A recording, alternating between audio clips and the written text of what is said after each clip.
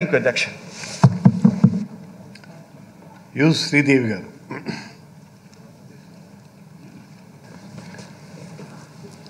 ఈరోజు షెడ్యూల్ కులాల సంక్షేమం గురించి మాట్లాడడానికి నాకు ఈ అవకాశం ఇచ్చిన మీకు మొట్టమొదటిగా ధన్యవాదాలు అధ్యక్ష. ఆదర్శప్రాయమైన సమాజంలో మార్పు కావాలి. ఈ మార్పు అనేది ఒక చోట వస్తే దాని యొక్క మార్గాలు బాగుండి వేరే చోట కూడా అన్ని చోట్ల రావాలి. అంటే ఆదర్శప్రాయమైన సమాజంలో ప్రజలందరూ కూడా మార్పుతో అందరూ కూడా ఉమ్మడి ప్రయోజనాలు కలిగే విధంగా ఆ మార్పులు ఉండాలి. ఒక మాటలో చెప్పాలంటే క్షుణ్ణంగా ఈ యొక్క ఉమ్మడి ప్రయోజనాలు అంతేకాకుండా అక్కడ ప్రజలందరూ కూడా సోదర భావం కలిగి ఉండాలి. అది కూడా సాంఘిక సోదర భావం అని డాక్టర్ బిఆర్ అంబేద్కర్ గారు తన పుస్తకంలో రాసుకుంటారు అధ్యక్ష. అయితే భారతావనిలో మార్పు అవసరమని ప్రజలందరూ కూడా అభివృద్ధి చెందాలని అది కూడా సాంఘిక సోదరత్వం కలిగి ఉండాలని ప్రజలందరూ కూడా స్వేచ్ఛా జీవితం పొందాలని తన జీవితాన్ని అంకితం చేసి తన సమయాన్ని తన యొక్క మేధస్సును ఉపయోగించి వజ్రాయుధమైన ఒక రాజ్యాంగాన్ని భారతానికి అంకితం ఇచ్చిన బుద్ధిస్ట్ ఎకనమిస్ట్ రాజకీయ నాయకుడు బ్యారిస్టెట్ లా రాజ్యాంగ రచయిత none other than our Baba Saheb Ambedkar గారు. సో మొట్టమొదటిగా ఆయనకి జై భీమ్. ఈరోజు ఈ యొక్క ఆశయాలను ఆచరణలో పెడితేనే మానవుడే మహనీయుడవుతాడు. అయితే ఆశయాలు అంటే బాబాసాహెబ్ అంబేద్కర్ గారి ఆశయాల్ని ఆచరణలో పెట్టడానికి మన సీఎం జగన్మోహన్ రెడ్డి గారు అంబేద్కర్ భావజాలంతో తన భుజం మీదేసుకొని ప్రతి ఒక్కళ్ళని కూడా ఈరోజు ఒకటే చెప్తున్నారు. గత ప్రభుత్వాలు కానీ ఇన్ని రాజకీయ పార్టీలు వచ్చినా స్వాతంత్రం వచ్చిన తర్వాత కూడా వచ్చిన రాజకీయ పార్టీలు ఏ చూసినా కానీ అన్నీ కూడా దళితుల్ని ఎస్సీ ఎస్టీ బీసీ మైనార్టీస్ని ఓట్ బ్యాంక్గానే గుర్తించాయి. అయితే జగన్మోహన్ రెడ్డి గారు ఒక్కళ్ళు మాత్రం ఈ ఓట్ బ్యాంక్ రాజకీయాలకి స్వస్తి చెప్పి బడుగుల్ని వాళ్ళ జీవితాల్లో స్వేచ్ఛ నింపి వాళ్ళ జీవితంలో వెలుగులు నింపటానికి బడుగులకి బాసడగా నిలిచి ఈరోజు బడుగులందరూ కూడా పల్లకీలెక్కి ఇదివరకు ఎట్లా పల్లకీలు మోసే స్థితి నుంచి పల్లకీలు ఎక్కే విధంగా ఈరోజు వాళ్ళందరూ కూడా ఆర్థికంగా సామాజికంగా న్యాయం చేస్తున్నారంటే అది మన సీఎం జగన్మోహన్ రెడ్డి గారి యొక్క గొప్పదనమని ఈరోజు నేను గుర్తు చేస్తున్నాను అధ్యక్ష. నీకోసం నువ్వు జీవిస్తే నీలో మిలిచిపోతావు. అదే ప్రజల కొరకు జనం కోసం జీవిస్తే జనంలో నిలిచిపోతావు. అదే సూక్తితో డాక్టర్ బిఆర్ అంబేద్కర్ గారు తన జీవితాన్ని అంకితం చేసినట్లు మరి నవయుగ అంబేద్కర్గా ఈరోజు మన సీఎం జగన్మోహన్ రెడ్డి గారు ప్రతి ఒక్కళ్ళు కూడా నవ్యాంధ్రప్రదేశ్కి నవశకానికి నాంది పలికి నవరత్నాలతో ప్రతి ఒక్కరికి కూడా బడుగులకి మన ఇదివరకు నవరత్నాలు శ్రీకృష్ణదేవరాయ టైంలో రోడ్ల మీద పోసి అమ్మేవాళ్ళు. కానీ ఈరోజు మన నవరత్నాల గొడుగు ప్రతి ఒక్క ఇంటికెళ్ళి నీకు అర్హత ఉంటే నీకు అమ్మఒడి కావాలా? నీకు జగనన్న విద్యా కానుక కావాలా? లేకపోతే వైఎస్ఆర్ ఆసరా కావాలని పథకాలు అడిగి మరి వాళ్ళకి లబ్ధిదారులకు ఇస్తున్నాం అధ్యక్ష. అంటే అసలుకి ఎలా తరాలు మారినా దశాబ్దాలు మారినా ఒక రాష్ట్రంలోనే అది కూడా ఆంధ్రప్రదేశ్లోనే ఈ విధంగా జరుగుతుందంటే అది జగన్మోహన్ రెడ్డి గారి చిత్తశుద్ధి అని చెప్పడానికి నేను ఎంతో గర్విస్తున్నాను అధ్యక్ష. మరి ఇందులో భాగంగానే జగన్మోహన్ రెడ్డి గారు ఎప్పుడు అనేవాళ్ళు? నాకు ఆరు నెలలు టైం ఇవ్వండి. తను సీఎంగా ప్రమాణం చేసినప్పుడు మంచి ముఖ్యమంత్రినై నేను నిరూపిస్తానని తను రిలీజియస్గా ప్రతి ఒక్క పథకాన్ని కూడా ఎంతో చెప్పిన టైంకి క్యాలెండర్లో చెప్పిన డేట్కి కరోనా కష్టకాలంలో కూడా అన్ని మనం మొన్న వయసు ఆసరా అయితేనేమి చేయూత అయితేనేమి అన్ని పథకాలు కూడా లబ్ధిదారులకి వాళ్ళ అకౌంట్లు వేయటం చూసాం. అదే మాదిరిగా ఈరోజు ఇళ్ళ పట్టాలు అంటే నవరత్నాల్లో పేదలందరికీ పక్కా ఇళ్ళు. ఈ ప్రోగ్రాం మనం చూసుకుంటే చాలా దాని విఘ్నతకు జగన్మోహన్ రెడ్డి గారు ఎంతో ఒక మహాయజ్ఞంగా భావించి ప్రతి ఒక్కరికి అర్బన్ వాళ్ళకి one and half cents and rural area వాళ్ళకి వన్ సెంట్ దగ్గర దగ్గర వన్ అండ్ హాఫ్ వన్ సెంట్తో మనం ముందుకెళ్తుంటే దాంట్లో ముప్పై ఒక్క మనము నవరత్నంలో ఇరవై ఐదు లక్షలు పక్కాళ్ళు అని చెప్పాం. కానీ దాన్ని ముప్పై ఒక్క లక్షలు చేసి దానికి అరవై ఎనిమిది వేల ఎకరాలని యాక్వైర్ చేసి దానికి కానీ ఇరవై మూడు వేల కోట్లు ఖర్చు పెట్టి మొదటి విడతగా పదిహేను లక్షల పైన మనం ఇల్లు కడుతుంటే దాన్ని కూడా పోయి కోర్టులో అడ్డుకోవడం అనేది తెలుగుదేశం వాళ్ళకి ఎంతవరకు సమంజసమని ఈ యొక్క సభ చట్టసభ నుంచి నేను అడుగుతున్నాను. ఈరోజు వాళ్ళు ఉంటే బాగుండేది. వాళ్ళకి కూడా నేను ఒక క్వశ్చన్ డైరెక్ట్గా అడుగుదాం అనుకున్నా. చంద్రబాబు నాయుడు గారు మీరు అమరావతి రాజధాని అది దేవతలను తలదన్నే రాజధాని మరి సింగపూర్ని కంటే మించిన రాజధాని అని బెస్ట్ రాజధాని కడతాను మీరు చెప్పారు. మరి రాజధానిలో మరి కట్టాలంటే అందులో దళితులు కానీ పని వాళ్ళు ఉండక్కర్లేదా? ఎందుకంటే మనము ఒక తాజ్మహల్ తీసుకున్నామే అనుకోండి షాజహాన్ కట్టాడు. ఆయన ఒక్కడే కడతాడా? తాజ్మహల్? మరి పక్కన ఎంతమంది లక్షల మంది కూలీలు అందులో పనిచేశారు? మరి ఈరోజు అమరావతిలో యాభై నాలుగు వేల మందికి మరి ఇళ్ళ పట్టాలు ఇస్తుంటే అంటే మీకు ఇది డెమోగ్రఫిక్ ఇంబ్యాలెన్స్ అని చెప్తారా? అంటే ఇక్కడ దళితులు ఉండకూడదా? మనం ఇక్కడ నుంచి నా ప్రదేశం నుంచి నేను మాట్లాడుతున్నా. ఇక్కడ పక్కనే మనం ఇళ్ళు ఇస్తున్నాం. దానికి మీకేం కోపం? ఏం ఎందుకు అంత ఈర్ష అంటే ఇళ్ళ పట్టాలు పట్టుకున్న ప్రతి ఒక్క వ్యక్తి ఈరోజు రాజశేఖర్ రెడ్డి గారి ఫోటో పక్కన జగన్మోహన్ రెడ్డి గారి ఫోటో కావాలని రా జగన్మోహన్ రెడ్డి గారు ఆశపడ్డారు. కానీ ఈరోజు నేను చెప్తున్నాను ఈరోజు ఇళ్ళ పట్టాలు పట్టుకున్న ప్రతి ఒక్క మహిళ జగన్మోహన్ రెడ్డి గారి ఫోటో బయట లేదు వాళ్ళ గుండెల్లో ఈరోజు ఉందని నేను చెప్తున్నాను ఈ చట్టసభల నుంచి. మరి ఈరోజు అంబేద్కర్ గారు చెప్పిన భావజాలంతో జగన్మోహన్ రెడ్డి గారు చేస్తున్న సంక్షేమ కార్యక్రమాలు చూస్తుంటే మరి ప్రతిపక్షం వాళ్ళు చూడలేక ఈరోజు కూడా రాలేకపోయారు. అయితే పంతొమ్మిది వందల డెబ్బై నాలుగులో ఎప్పటి నుంచో కూడా యాభై తొమ్మిది ఉపకులాలు ఎస్సీస్లో ఉంటే వాళ్ళందరూ కూడా మమ్మల్ని విభజించి ఎస్సీ కమిషన్ చేయండి అని చాలాసార్లు మొత్తుకున్నారు. కానీ పట్టించుకున్న నాదుడే లేడు. అయితే ఎస్సీ ఉపకులాల్ని వాళ్ళు పరిగణించకుండా చంద్రబాబు నాయుడు గారు తనకి ఇష్టమైనట్లు ఏబిసిడి అనుకుంటూ ఆయన విభజిస్తే దాన్ని కూడా సుప్రీంకోర్టు అడ్డుకున్నారు. కానీ ఈరోజు నేను గొప్పగా చెప్తున్నాను. జగన్మోహన్ రెడ్డి గారు మరి ఈ ఎస్సీ కులాల్ని ఉపకులాన్ని గుర్తించి యాభై తొమ్మిది ఉపకులాల్ని మరి ఎస్సీ కమిషన్ని వాళ్ళకి యొక్క అభివృద్ధికి అభ్యున్నతికి మార్గంగా వాళ్ళందరినీ కూడా మూడు ఎస్సీ కమిషన్స్ స్మాలా మాదిగా రెల్లి అనే కమిషన్లు వేయటం వల్ల ఇది ఎస్సీ అభివృద్ధికి ఆయన చేస్తున్న చిత్తశుద్ధి అని కూడా ఈరోజు నేను ఈ యొక్క చట్టసభ నుంచి చెప్తున్నాను. అయితే చంద్రబాబు నాయుడు గారు దళిత పక్షపాతి అని చెప్తుంటారు. చాలా సందర్భంలో బీసీలు నాతోనే ఉన్నారు ఎస్సీలు నాతోనే ఉన్నారని.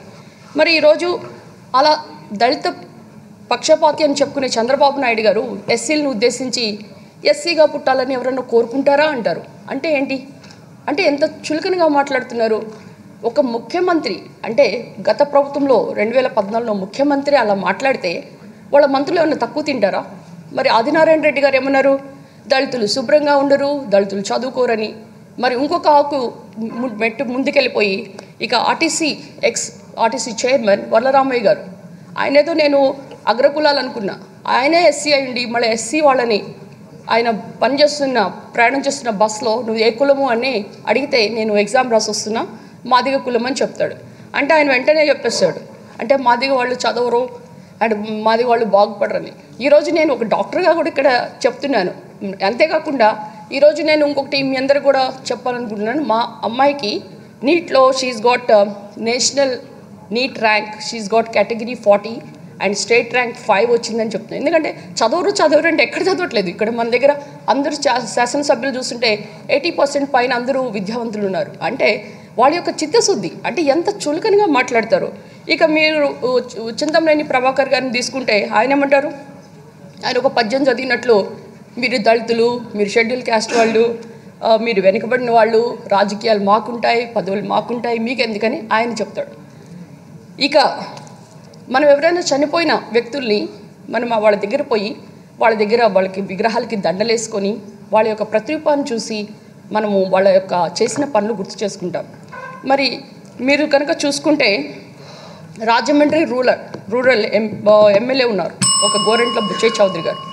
ఆయన అంబేద్కర్ గారి మీదే మోచ వేసేసి మరి ఆయన మాట్లాడతాడు. ఫోజులు తీసుకుంటాడు ఫొటోస్ తీస్తాడు. అంటే దీన్ని బట్టి చూస్తుంటే వాళ్ళకి అసలుకి మన దగ్గర ఎంత పెద్ద వ్యక్తులు అంబేద్కర్ గారు కానీ బాబు జగజ్జీవన్ కానీ ఇలాంటి వాళ్ళని మనం ఎంతో వాళ్ళ యొక్క ప- చేసిన పనులు గుర్తు చేసుకుని ఈరోజు మనం చేస్తుంటే వాళ్ళకి దండలేస్తుంటే వాళ్ళు చేసే పనులు ఎలా ఉన్నాయో. కనీసం చంద్రబాబు నాయుడు గారు వాళ్ళ మంత్రులను కానీ లేకపోతే వాళ్ళ ఎమ్మెల్యేస్ని కూడా ఒక్కసారి కూడా ఇలా మాట్లాడొద్దు. అన్న దాఖలే లేదు. ఇక గత ప్రభుత్వంలో మనం చూసుకుంటే ఎస్సీల మీద జరిగిన జరిగిన దాడులు.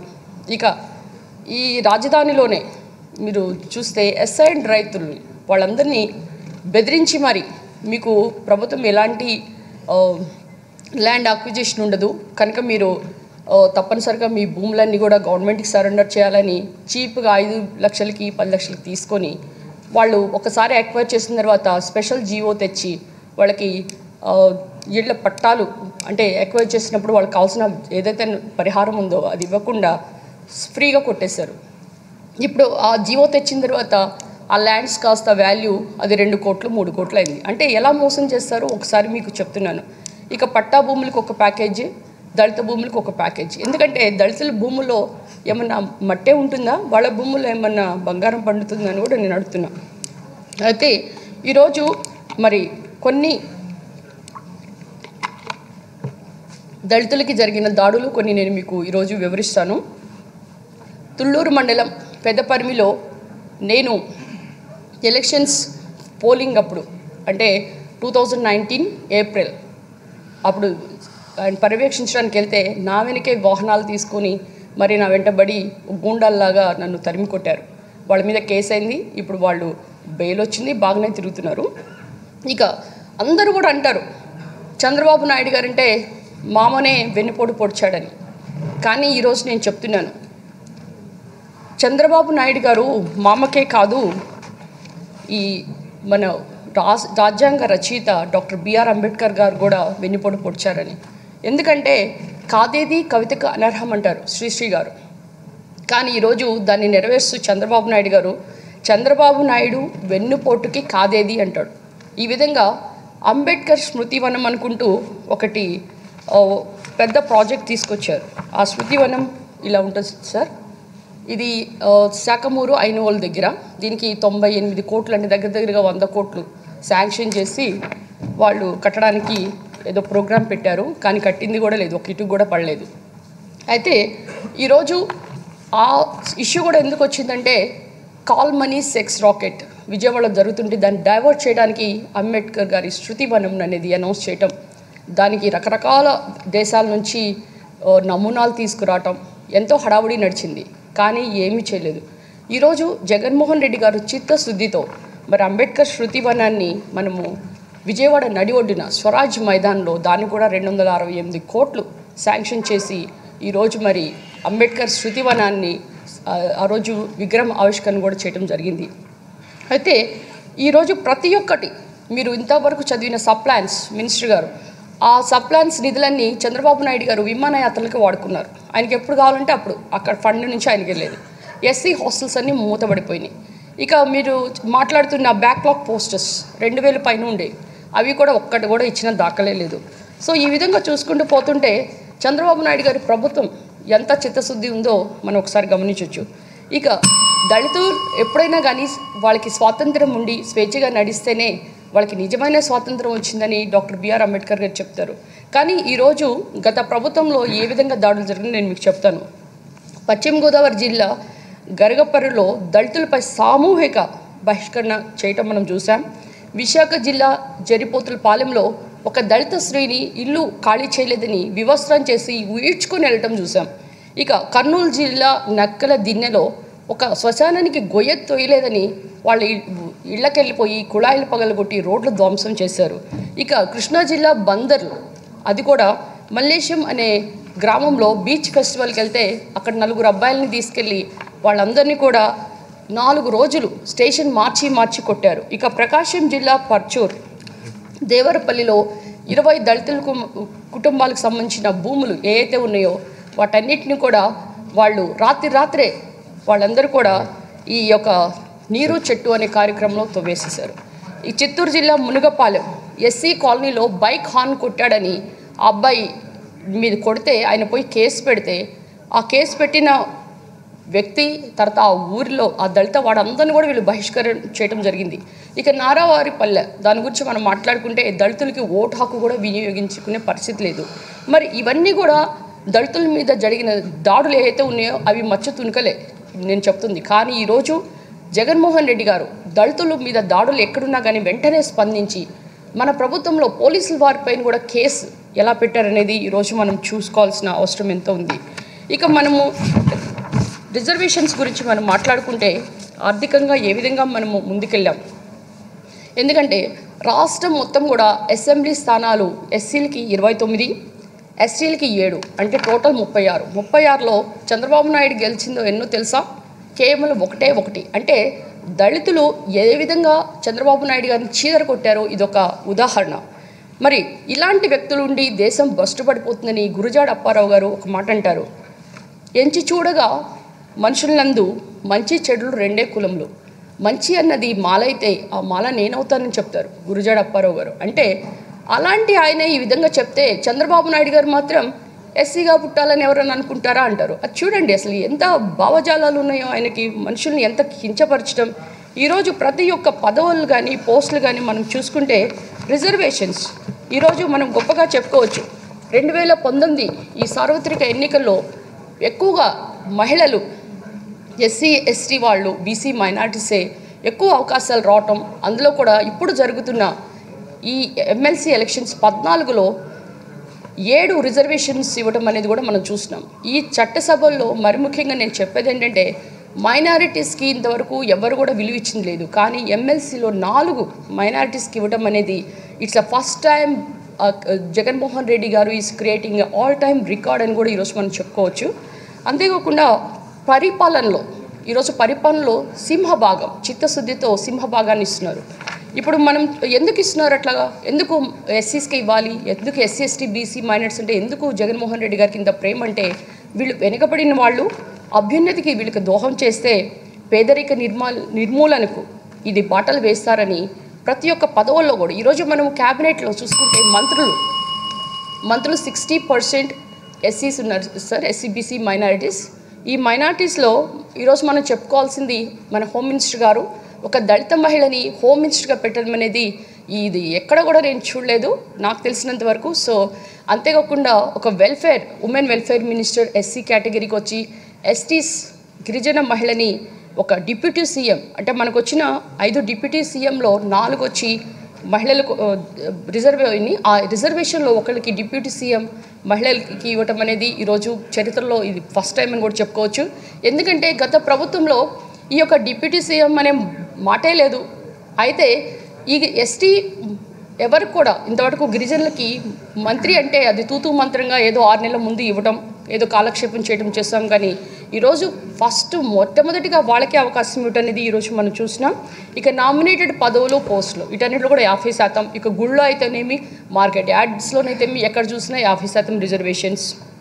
ఇక స్థానిక రిజర్వేషన్స్ చూసుకుంటే మనకి seventy eight percent SC ST BC మైనార్టీస్కి మనకి అవకాశం కల్పించారు. ఇక municipal vice chairmans and mayor పదవుల్లో సెవెంటీ ఎయిట్ పర్సెంట్ ఇస్తే అందులో ఎక్కువగా మహిళలే అంటే వాళ్ళకి సిక్స్టీ పర్సెంట్ పైన పదవులు వచ్చినాయి.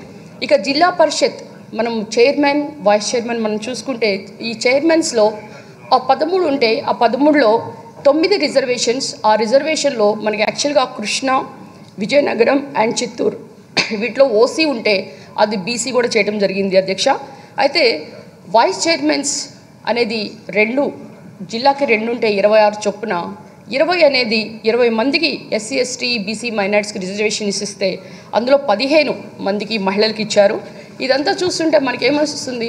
మహిళా సాధకారత అనేది జగన్మోహన్ రెడ్డి గారి యొక్క ఆశయమని ఈరోజు మనం చూస్తున్నాం. ఇక ఎంపీపీస్లో సిక్స్ ట్వంటీ మనం గెలిస్తే అందులో మహిళలకి సిక్స్టీ ఫోర్ పర్సెంట్ అంటే three hundred and ninety seven ఇవ్వడం జరిగింది అధ్యక్ష. ఇవన్నీ అంటే కొంచెం చెప్పాను ఇంకా చాలా ఉంది చెప్పాల్సింది అధ్యక్ష. ఏదైనా కానీ మీరు నాకు ఇచ్చిన అవకాశం ధన్యవాదాలు. కానీ ఈ రిజర్వేషన్సే కాకుండా సంక్షేమం అనేది కూడా ఏ విధంగా ఉంది? మనం ఒకసారి నేను ఓన్లీ అంటే పథకం వైజ్ చెప్పకుండా అట్ ర్యాండమ్గా చెప్తాను. బీసీ సంక్షేమానికి మన బడ్జెట్లో రెండు వేల ఇరవై ఇరవై ఒకటిలో బడ్జెట్లో ఇరవై ఐదు వేల కోట్ల పైన శాంక్షన్ చేశారు. రెండు వేల ఇరవై ఒకటి ఇరవై రెండులో ఇరవై ఎనిమిది వేల కోట్లు. అదే ఎస్సీ సంక్షేమానికి చూసుకుంటే అది పదిహేను వేల కోట్లు రెండు వేల ఇరవై ఇరవై ఒకటిలో ఉంటే రెండు వేల ఇరవై ఒకటి ఇరవై రెండులో దాన్ని పదిహేడు వేల కోట్లు చేశారు. అది ఎస్టీకి అయితే రెండు వేల ఇరవై ఇరవై ఒకటిలో ఐదు వేల కోట్లు అయితే ఇరవై ఒకటి ఇరవై రెండులో అది కాస్త ఆరు వేల కోట్లయింది వీళ్ళందరూ కూడా ప్రతి ఒక్కరికి ఈ నవరత్నాలకి రెండు వేల కోట్ల పైన శాంక్షన్ అయింది. అదే మైనార్టీస్కి అయితే రెండు వేల ఇరవై ఇరవై ఒకటిలో రెండు వేల కోట్లు ఇరవై ఒకటి ఇరవై రెండులో నాలుగు వేల కోట్లు వాళ్ళకి నవరత్నాలకి రెండు వేల కోట్లు. ఇవన్నీ చూస్తుంటే ముందు కంటే కూడా లాస్ట్ ఇయర్ కంటే ఈ ఇయర్ పెరగడం జరిగింది. ఈ సంక్షేమ కార్యక్రమాలు ఇందాక మినిస్టర్ గారు కూడా చెప్తున్నారు. దిస్ ఎస్సీ కాంపనెంట్ అండ్ ఐదు సంవత్సరాలు చంద్రబాబు నాయుడు గారు ముప్పై మూడు వేల కోట్లయితే చాలా మంది మెంబర్స్ ఉన్నారు. చాలా ఎక్కువ మంది వచ్చారు. మాట్లాడాలని ముప్పై ఆరు వేల కోట్లు మన జస్ట్ టూ అండ్ హాఫ్ ఇయర్స్లో చేసింది అధ్యక్ష. అయితే ఈరోజు ప్రతి ఒక్కటి ఎస్సీ ఎస్టీ బీసీ మైనార్టీస్కి ఓవర్సీస్ అంటే అంబేద్కర్ గారి ఓవర్సీస్ ఎడ్యుకేషన్ పథకం కింద ఫిఫ్టీన్ ల్యాక్స్ మనము ఇస్- ఇవ్వటం. అంతేకాదు ఓబీసీస్కి టెన్ ల్యాక్స్ ఇస్తున్నాం. లెస్ దెన్ సిక్స్ ల్యాక్స్ ఉన్న వాళ్ళకి ఈ యొక్క గ్రూప్ వన్ గ్రూప్ టూ వాళ్ళు కూడా స్టడీ సర్కిల్స్ పెట్టడం. మరి లాన్ వేస్తానికి ఐదు వేలు ఇవ్వటం. ఈరోజు పెన్షన్ కానుకైతేనేమి లేకపోతే అమ్మఒడి పథకం అయితేనేమి ప్రతి ఒక్క పథకాలు ఇవన్నీ కూడా ఎంతో గొప్పగా మన రాష్ట్రంలో నడుస్తున్నాయి. అయితే ఈరోజు నేను ఆరోగ్యశ్రీ పథకం గురించి ఒకటి చెప్ చెప్పి ముగిస్తా. ఆరోగ్యశ్రీ పథకంలో కరోనాను కూడా యాడ్ చేసింది మన రాష్ట్రం ఒకటే. ఎందుకంటే కరోనా కష్టకాలంలో రాష్ట్రానికి అండగా ఉండి ప్రతి ఒక్కళ్ళు కూడా బాగుండాలని ఎంత ఖర్చు అయినా కానీ మనకి ఈ కరోనా అనేది ఆరోగ్యశ్రీ పథకంలో యాడ్ చేసి తర్వాత వాళ్ళు వాళ్ళు ఓకే. వాళ్ళు డిశ్చార్జ్ అయినప్పుడు మనీ ఇవ్వటం పంపించింది అధ్యక్ష. అయితే మరి ఇంత మంచి పథకాలు అందిస్తున్న మరి జగన్మోహన్ రెడ్డి గారికి మరి మీకు నాకు అవకాశం ఇచ్చి మీ అందరు కూడా మరొకసారి ధన్యవాదాలు. అధ్యక్ష చెప్పండి. తర్వాత గౌరవ సభ్యులు